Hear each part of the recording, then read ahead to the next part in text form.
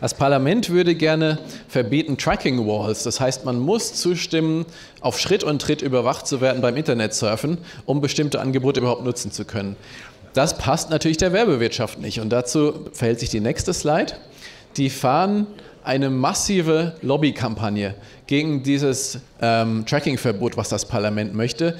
Und äh, alle stehen auf der Matte, vor allem bei den Mitgliedstaaten. Ihr seht hier, 99 Prozent der Lobbykontakte kommen von der Industrie her. Das, der größte Ausmaß von Lobbyismus, den, den man je gesehen hat, hat jemand kommentiert dazu. Ja?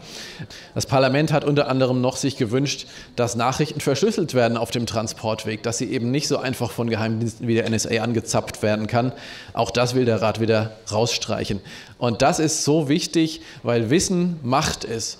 Wenn ein ausländischer Geheimdienst, eine ausländische Regierung wissen, was in unserer Kommunikation steht, dann kennen sie unsere Vorlieben und Schwächen und äh, haben uns in der Hand. Und nicht nur uns, sondern auch politische Entscheidungsträger, höchste Richter sind sozusagen in der Hand derjenigen, die ihre privaten Geheimnisse kennen. Und das kann sich eine Demokratie nicht leisten. Deswegen müssen wir kämpfen um die elektronische Privatsphäre.